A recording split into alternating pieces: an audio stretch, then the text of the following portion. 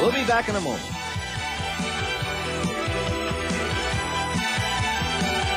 Hi, welcome to Future Sport. I'm Vic Braden. With me, Charlie Jones. Charlie, great having you on Future Sport. Thank you, Vic. All right, you all know Charlie Jones as the voice of the AFL football, the original Super Bowl voice, but also you recognize his face, but not usually on the golf course.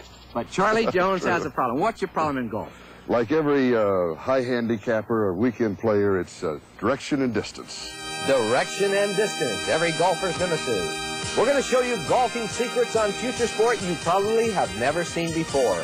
Aerospace technology and computers will be utilized to compare Charlie Jones to U.S. Open winner Jerry Pate.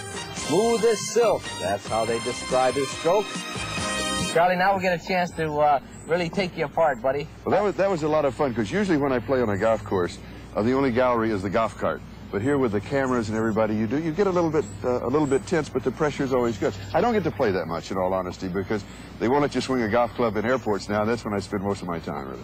Always amazed when I see top celebrities, and you think, gee, they they perform before millions just the way you have, and then all of a sudden they're out there in front of the camera themselves. They're performing, and they can't get the tennis racket through, the club head down. They look like a toad. That didn't happen. no, no, you look no, good to no, me. but but you're right. But it's a different sport. I'm very comfortable when I'm working in front of a microphone or in front of a camera because then I'm communicating only with one person. But like you say here, you know, now I'm trying to hit my career golf swing today. you know. Career golfing. Well, let's see if you did hit it. We're going to go in right now and check out your high-speed film. 100 frames per second. Turned into technical data with our resident scientist, Gideon Ariel.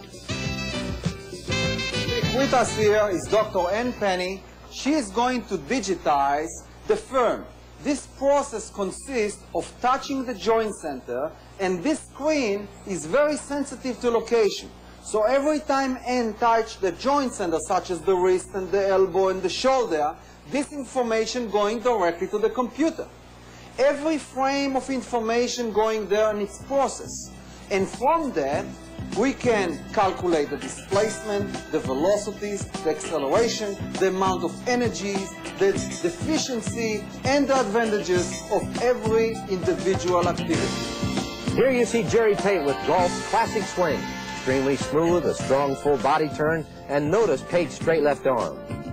On the right is our computer model of Jerry Pate.